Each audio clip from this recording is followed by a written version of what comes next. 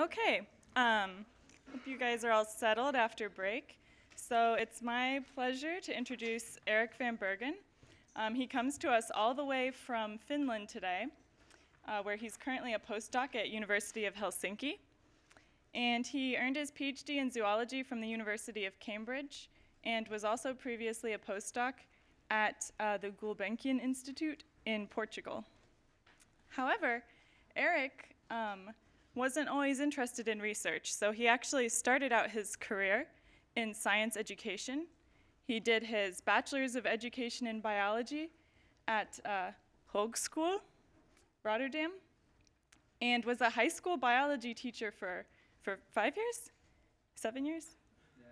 Five, he was a high school biology teacher for several years um, before going back to school and getting a, a master's in education, um, and then also a master's in evolution and ecology from Leiden University. Um, so after switching back to research, or into research for his master's, he's published on a wide variety of topics. Um, he has usually focused on butterflies and published papers on um, topics including coevolution, speciation, plasticity, adaptation, inbreeding, and uh, behavioral ecology. And he's going to talk to us today about the ecological and evolutionary implications of shifting climates and climate variability. So if you'll join me in welcoming Erik. Excellent. Can everybody hear me? Kind of also. All right. Shift that up. How's that? Better. There we go. Indeed, that's the title of my talk. Um, indeed, I spent most of my research for the last years working on butterflies. And when we uh, got invited to give this, uh, to, give, to give this talk, uh, one of the questions that came out, and I think it was from you, Catherine, is how, how did Isotope help you to address the research questions that you're interested in? And in my case, it was very simple uh, because uh, in the middle of my PhD, I ran into a problem that uh, in the end I was able to solve, well, uh, we were able to solve with stable isotopes and that meant that I could finish my PhD and I can actually be here today. So that's also the line out of my talk. So I'm going to introduce my PhD topic, then the problem I bumped into and then how um, that in the end led to the results. So I work on these guys. These are Mycalesine butterflies. For my PhD I worked on these. As you can see, they come in uh, many different shades of brown, basically. They're all brown and boring. They have these lovely eye spots, and actually one of these, by nana, I'm now not sure which one is the marker, but it's up there, uh, has, a, has become a textbook example for seasonal um, uh, polyphenism or developmental plasticity, as we heard of a bit um, from Jim. Um, they occur in different habitats, from very deep forests um, to very open savanna regions um, which obviously are also seasonal. So if you keep staring at that picture, it starts changing and that poses a, a particular threat. Um, you need to adapt to these environments. But important for my particular um, research is that they are uh, grass feeding as larvae. Um, so as adult, they feed, feed, on rotten fruits, but the larvae itself, and this is uh, first instar larvae um, in our lab, they feed on grasses. Um, sorry. Now, when I started my PhD, we uh, first tried to reconstruct the phylogenetic history. And um, this is the unrooted tree that we came up, uh, came up with in the end. Uh, they originated in Asia. um, and then they kind of have these three parallel radiations going on, um, one in uh, Madagascar, one in Africa, and in, one in Asia. Um, and it, this kind of was interesting for us because you have these three parallel radiations that you can then use as three kind of different test tubes in which you can explore whether the, the processes that drove these, uh, these processes of diversifications, the mechanisms that drove that, whether they are similar in these three different parallel radiations. So it kind of became our, our setup to test um, different hypotheses. Um, we were several um, people in our group in Cambridge. And we're kind of all focusing on different questions. One was looking into chemical communication, one in visual communication, and trying to find commonalities between uh, these different parallel radiations. And myself, I got interested in um, the interaction with their host plants because they are grass feeders, and we had um, uh, already seen some slides before in the introduction.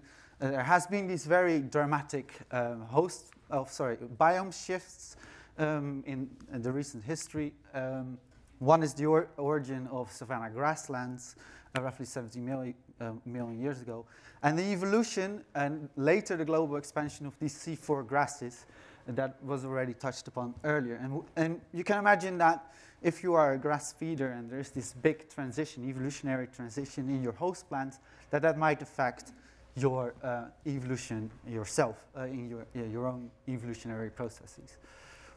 So to start with that, the first, and we actually already have seen that phylogeny, the evolutionary, sorry, the evolution of the C4 uh, photosynthetic pathway is this evolutionary novelty that is an adaptation to open habitats. And um, I like to show this phylogeny that we saw before because there's 22, over 22 independent origins only in the family of the grasses. Um, so here in blue, it's already pointed out, there's um, independent origins wherein C4, C4 photosynthetic pathway evolves. Um, it evolves in different families or, um, sorry, in different genera in different moments in time, starting roughly 30 million years ago, and kind of ongoing several origins of the C4 pathway. Um, that is important for my little herbivores because C4 grasses are not as palatable as, as the C3 ones. They typically have less nutrition, uh, they are tougher. So you can imagine if you're a tiny caterpillar and you have to deal with a C4 grass, it's much harder than to deal with a C3 grass. Um, so then if you look back at um, uh, the evolution, evolutionary time, um, these C4 kind of grasses are at the moment very dominant in these open grassland environments, which is represented here. I'm going to press it. There we go. Represented by this kind of increase uh, in, um, in C4 abundance in open grass areas. Uh, this is an example from Kenya because my butterflies are also in Africa. And you see this transition, this is represented by the colors from very deep forested areas to the origin uh, of open habitats and, and later now uh, a lot of open savannas. and you can imagine uh, that for my butterfly, a couple of things are interesting, right? So you live in these deep, deep forests, then there's a big transition, so you kind of have to adapt to these new open habitats. And at the same time, in that new habitat, C4 grasses become very abundant. So you can imagine that these two processes may or may not have shaped the evolutionary history of my um, tribe of butterflies that I was interested in. Just to summarize that up a bit, so you can imagine back in time, there's species, a species occurring in this deep forest, and um, the first process of opening the habitats already could lead to speciation events, right? Because you get these isolated patches of forest where you are retracting, and that means reproductive isolation, and that could lead to the first speciation event. But the later part is more interesting, I think, because from these isolated uh, patches, you could then adapt to open habitats where you get to deal with these C4 grasses, which you could then adapt to or not. Um, so for instance, if we follow this particular uh, line, let me see where it is. So this particular species then adapted and then could uh, adapt to the open environment and C4 grasses, and then could then later potentially retract to the forests where it still has the ability to deal with these four, uh, C4 grasses. So by reconstructing this, we thought we were going to end up with something, something, something like this, in which we could hopefully determine um, uh, when transitions to C4 grasses occurred, here indicated in red, uh, whether that's associated to where they live now. So whether, for instance, moving to the open environment um, uh, also forced you to start dealing with these C4 grasses and vice versa. So this is what I wanted to end up with. Um, so these two were kind of my key questions. When did uh, ancestral shifts to C4 grasses occur? Did it coincide with the origin of, of savanna grassland or the expansion of the C4 grasses a bit later? and were these two shifts associated with each other? So shift to C4 and a shift to using, start using op open habitats.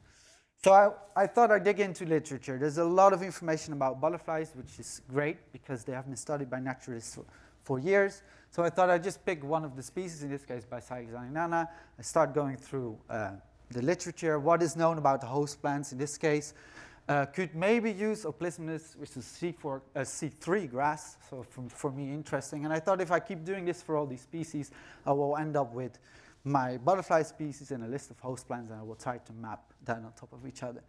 Um, I was already quite disappointed by this, could maybe use, and then a C3 grass. Uh, but then when I go to the next plant, there's actually, uh, sorry, the next species, there's no information. Uh, and this was actually true for most of the species. So good luck with that PhD of yours.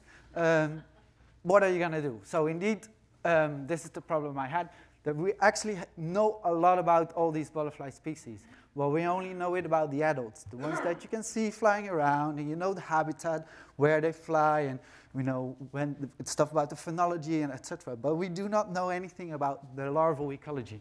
Um, so that was a problem which we hope to solve by opening the isotopic toolbox. Um, uh, in particular, stable isotopes of carbon, can we use them uh, to detect the feeding history of the larvae um, by looking at adult butterflies? Um, and then maybe also get a little bit more information about the larval ecology by looking at stable, isotope, uh, stable isotopes of oxygen, um, can we detect um, atmospheric uh, variation in atmospheric humidity or ev evaporation stress during larval development? Um, so this one we have seen before these, these, that these C3 and C4 grasses differentiate differently uh, between uh, stabilized, uh, sorry, um, CO2 with the heavy isotope and the light isotopes, which is for me an excellent thing because I want to differentiate between whether these larvae use C3 or C4 grasses. Um, so basically C3 grasses, uh, so if my larvae feed on C3 grasses, uh, I should be able to trace that in the adult and vice versa. Um, and secondly, I wanted to look at oxygen. It's a colleague of mine pointed out um, that's actually very interested in seasonal environments um, because basically, um, very simply, uh, when water evaporates, the heavy isotopes tend to evaporate slower. So if there is a high, sorry, high evaporation rate, you get this accumulation or enrichment of uh, uh, sorry, uh, oxygen 18 uh, accumulating in this pool of, uh, pool of water. Now, an insect um, kind of is a pool of water, right? It's 90% water, for a larvae in this case. It's 90% water and they have been doing very interesting work on, um, on, on, measuring the, the 18O signature in, um, in, in, sorry.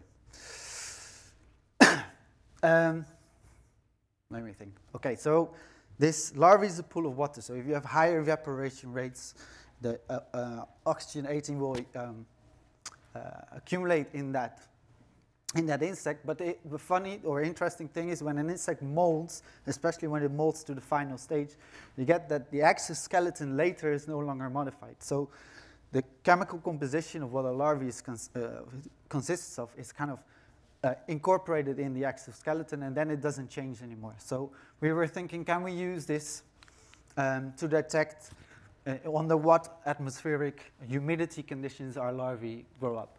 So very fast proof of principle. I think it's important we always do it. Uh, so we reared larvae uh, on C3, C3, grasses and on C4 grasses, and we just take, took a leg from uh, our individual, uh, from our um, adult, just to see whether it absolutely matches. Is there any enrichment, yes or no? Um, and we also wanted to know what does it actually reflect when you have mixed diets, because these larvae, they walk around, they uh, typically, I have a preference for particular host plants, but they might shift. So uh, we wanted to know whether when we switch them between the C3 and the C4 grass, what are we going to pick up in terms of isotopes? Um, well, firstly, we don't really see any enrichments. This is nice. So when I feed it on C3 grass, I'm going to be able to detect that uh, in the adult. Um, and for us, also quite interesting is it mainly reflects the um, host plant it has been feeding on during the final stage of larval development. So the final instar is what we're going to get back if we later look at the adult um, butterflies. So we can trace mainly the isotopic composition of the host plant used during the final uh, instar um, of development. Um, we also wanted to see whether this was actually true for our particular insect. So we, we reared host plants for three weeks under high and low humidity. Then we took little uh, larvae that also take three weeks to develop, and we reared them um, under either high humidity or low humidity conditions. And then later we kept the adults that came from those larvae, and we reared those under high and low uh, conditions to and then mix all the treatments to really figure out which of these life stages are we picking up um, evaporation rates of the plant in the adult or in the larval. But it was very, very clear. So if we do this experiment in the lab, we, uh, and we, in the end, look at the leg tissue of the adult, what, we, what is reflected is actually the um, atmospheric, atmospheric conditions that the larvae were exposed to. So this is nice, proof of principle, um, but then we wanted to take that to the field. So first, uh, we had two long-term studies. One we conducted ourselves in Malaysia in a stable forest community of eight species. And we had access to a long-term data set um, uh, from Malawi, which is a very seasonal environment. And there we had three different species that have kind of different habitat preferences. preferences. So some are more in the forest fringes, others are more right in the open. So we thought maybe we can detect differences there. Um, this is kind of the outcome. So if you, uh, if you look at, um, this is, sorry, this is in Malawi, the seasonal environment where we had data for three years, where you really clearly see these wet and dry seasons. So that, um, and that's reflected also in the humidity levels. Uh, and then to compare that with Malaysia's study where it was a very stable environment, uh, no changes in humidity, no changes in rain, no changes in temperature. So these are the oxygen values that we got and um, reflect what larvae are exposed to during development. And you see, for starters, very clear seasonal variation, right? So uh, during the wet season, these larvae that develop are exposed to um, uh, much uh, higher humidity less evaporation stress. And in the dry season, when uh, it's very dry, you get these enriched values in the, in the tissue, which is uh, interesting. But for us, more, a bit more interesting is that we could see these clear differences between species that live in this very uh, similar um, environment, but clearly have um, uh, differences in where the larvae develop, right? So these two, this particular species, Bicyclus ena, um, uh, clearly, their larvae are exposed to drier conditions, are exposed to more evap higher evaporation rates. We saw none of that in the eight species in Malaysia, which is not surprising because it's a stable environment and et cetera, et cetera. But didn't we see anything there? Of course. So there we also looked at, we used carbon to trace down what do these individuals, these larvae, so sorry, we have the adults, so, but what did the larvae actually use as, uh, as a host plant? And we start to see, well, for starters, a lot of variation. Um, so clearly there are some species that use both host plants, great. Uh, but there are also some species that very consistently, for instance, this uh, Calapa species, uh, use C3 and nothing else, right? Um, some here, a few samples.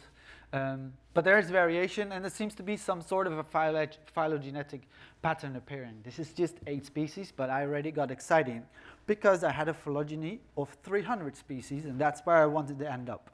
Um, so I could go back, problem solve. I could clearly go back to my previous approach. Instead of looking in literature, I could go to museums, go to fields, etc., and start to collect samples that I can then later backtrace. What do these larvae actually use?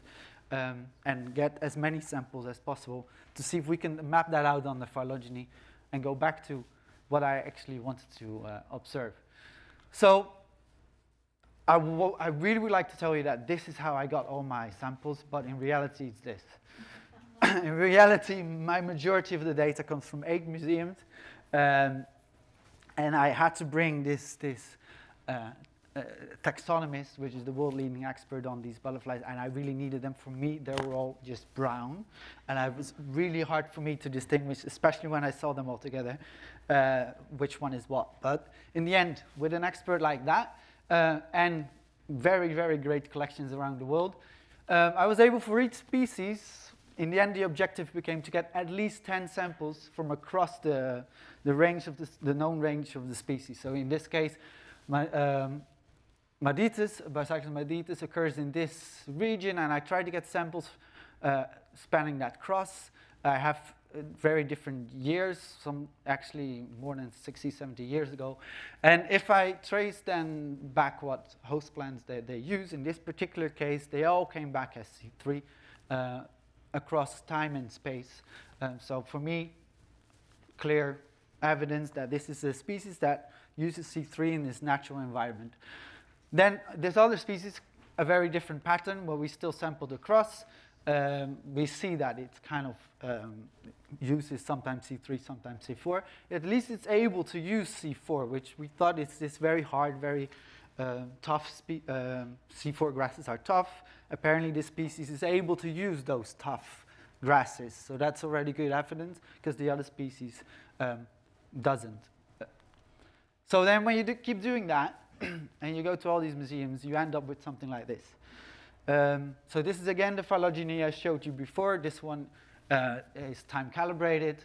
So this is going back in time. You can see, this whole group is roughly 30 years, uh, 30 million years old. Again, the colors here represents where they occur. So in blue, the Asian species, in uh, red, the African species, and in uh, green, the species that occur on Madagascar.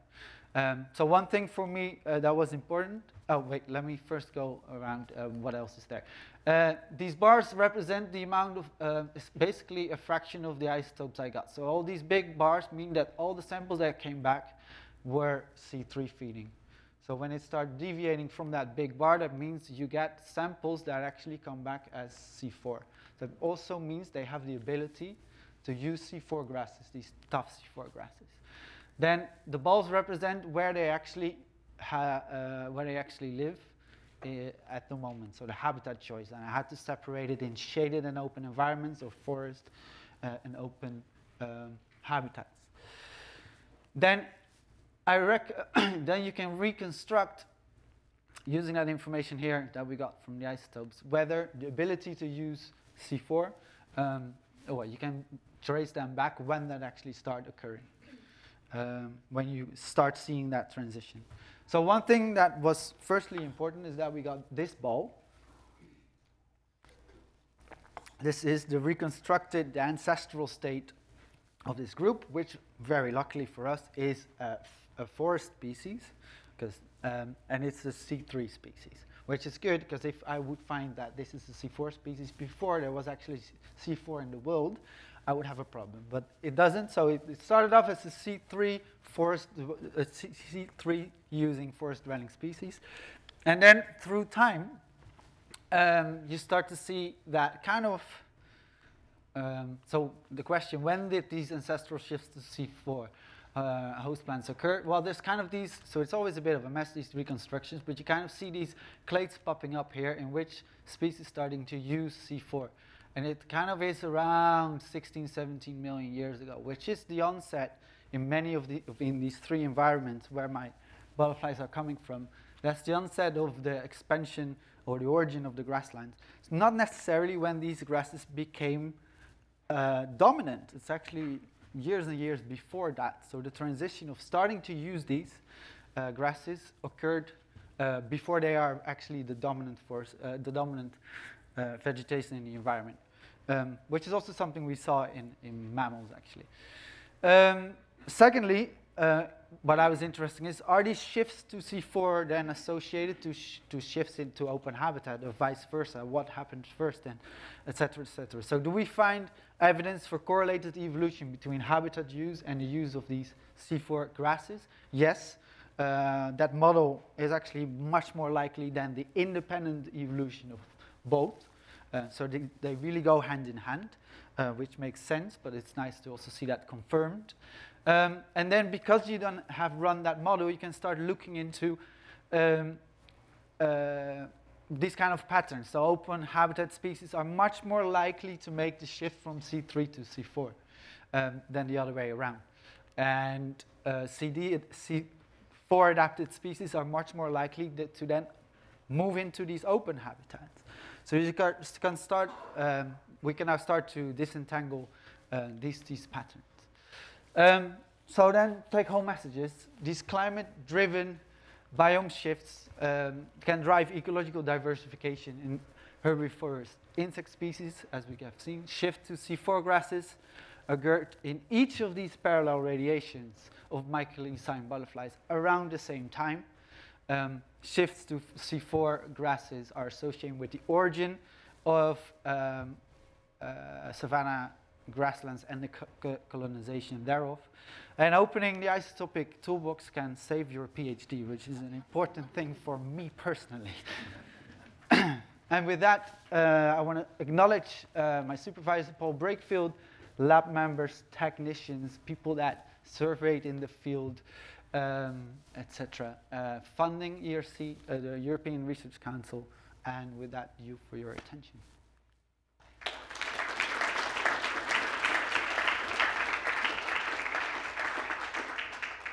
Thank you so much. Questions?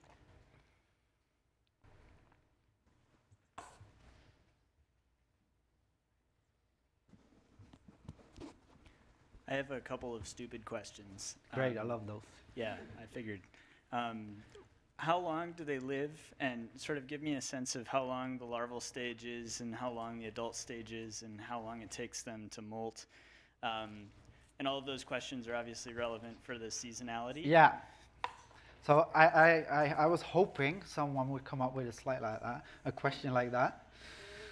Uh, because there's one thing I didn't tell, but I, this is one of the favorite things about my about this system, is that there are seasonal polyphenol. I did mention it, but uh, this is a great, I think, a great example of that. So they, they, this is a very hard question because it's very different. So in the wet season, so they have these two seasonal forms, and it uh, depends on the temperature during larval development, whether they're going to develop in either this beautiful wet season form or in this very dull and brown dry season form. And um, there are seasonal strategies to avoid um, predation, um, but it's all suit of traits, including lifespan, and that's why I bring it up. Um, so during the wet season, it's really, um, you really live fast, die young. Um, so they live very, very, as adults, very, very short, maybe a couple of weeks. A larval developmental time is therefore also very short, also a couple of weeks. but then in the dry season, uh, of course, larval development is much longer because the temperatures are cooler, uh, but they tend to live for months because that is the generation that has to last throughout this entire dry season to become the next generation, uh, so to produce the next generation uh, that is going to be, be, the wet season um, So they have really different um, lifestyles, these different seasonal forms. Uh, so the to answer your question, dry season form butterflies live many, many months, uh, and wet season short, very, very short, fast, fast, fast. They have two generations in the, in the shorter wet season, and they have only one in the dry season, which is seven months. I had one other very brief, stupid question, which is, uh, is there any sort of migrational patterns, or do you think you can pick those up at all in these? Migrational patterns in this species, whether it's any evidence, yeah. um, not that I know of. So there's these several ways you can cope with variation in the climate. Uh, one of them is migration, move away from where it's bad. Uh, and this one really seems to put all his, his uh, efforts on being plastic and making sure that you can stay in the same environment, even though it is very seasonal and there's seasons, seasons of plenty and seasons of stress. But that is the way it seems to be dealing with this. Uh, and no, and they're very tiny. Eh? I don't think they are migrating. And there's, well, they have been doing mark recapture studies and it has been shown they disperse, but they hang around and they move a couple of hundred meters. And uh, so no evidence of that. Okay, one more quick question. Um, first of all, this is really exciting to see the correlation between the C4 story in Africa and butterflies. So I'm a, I'm a worker on that C4 story, so it's very satisfying to see that it's useful for something I could never imagine. Yes, there Um, you go. That's awesome. It's very, but I, I also saw, I cannot help but ask about your oxygen isotopes, and I saw you probably had a slide. So do you have oxygen isotopes from any of these uh, that you sampled from museums? no, actually, don't? sorry, no. Oh, okay. Uh, from museums, no. I, you know, I do have them from the field, but not from all these. Do you have a No, we didn't do, you do have a that sense because of the story of the oxygen isotopes at all, or is that emerging? Or No, actually, we didn't do because they're so well. If I press this, oh, yeah, there's so much variation um, across environments in in I- in in oxygen that we didn't want to bother bother because it's an, another analysis and you need. Um, so then we thought, well, let's focus, put all, put all the money on the carbon. Uh, so that's what we did. But um, yeah, so we didn't look at that. Thank you.